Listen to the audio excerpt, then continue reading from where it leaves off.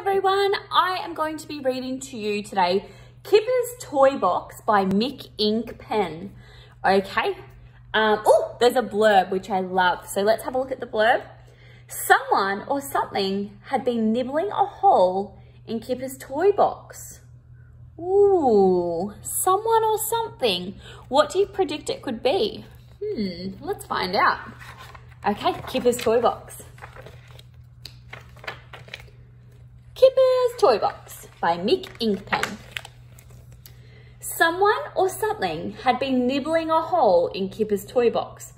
I hope my toys are safe, said Kipper. He emptied them out and counted them. One, two, three, four, five, six, seven. That's wrong, he said. There should only be six. Kipper continued, oh, I made a mistake. Kipper counted his toys again. This time, he lined them up to make it easier. Big Owl 1, Hippopotamus 2, Sock Thing 3, Slipper 4, Rabbit 5, five Mr. Snake 6. That's better, he said. Kipper put his toys back in the toy box. Then he counted them one more time just to make sure. One, two, three, four, five, six, seven, eight noses. That's way too many noses, said Kipper. Hmm, what do you think's happening?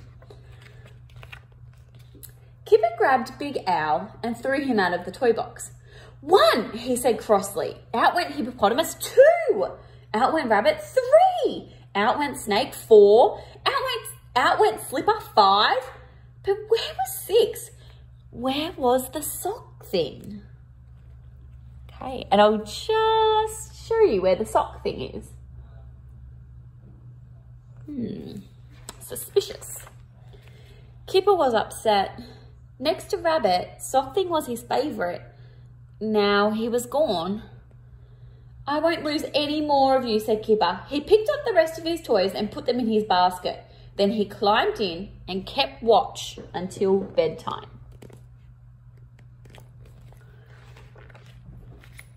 That night, Kipper was woken by a strange noise.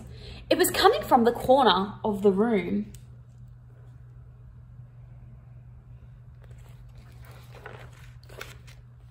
Kipper turned on the light.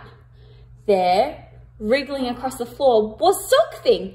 It must have been Sock Thing who had been eating his toy box. Kipper was not sure what to do.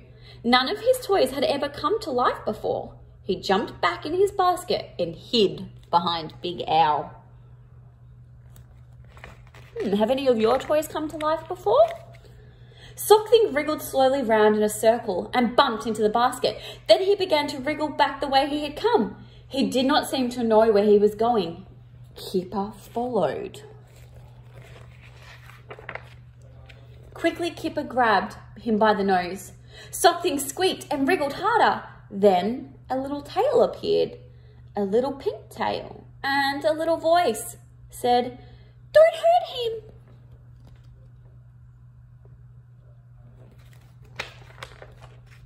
So it was you. And we can see there needs to be a lot of emphasis on you. It's in capital letters. So it was you.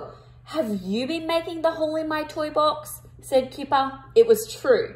The mice had been nibbling pieces of Kipper's toy box to make their nest. You must promise not to nibble it again, said Kipper. We promise, said the mice.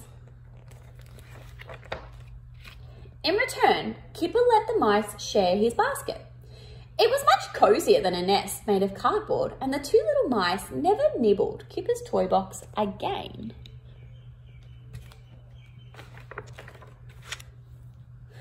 But their babies did. They nibbled everything.